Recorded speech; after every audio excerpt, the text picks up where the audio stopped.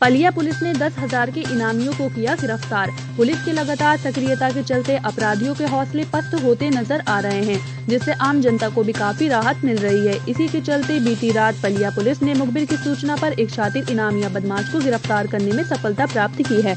Police अधीक्षक खीरी पूनम के दिशा निर्देश में अपराध एवं अपराधियों के विरुद्ध चलाए जा रहे अभियान के दौरान पुलिस ने एक शातिर बदमाश को गिरफ़्तार कर लिया है। ये हरविंद्र सिंह, पुत्र कामता सिंह है, जो कि रहने वाला गाँव रितिया फार्म का था, थाना धीरा में जो पड़ता है। यह दस हज़ार का इनामी था और इसको कल गिरफ़्तार किया गया है पलिया पुलिस के द्वारा। यह हवाई पट्टी तिराहा दुधवा रोड से गिरफ़्तार हुआ है। उसको गिरफ़्तार करने में हमारे थाना पलिया की टीम रही है और इसके पास से एक तमंचा बारह बोर का बरामद हुआ है और दो ज़िंदा कारतूस बरामद हुए हैं।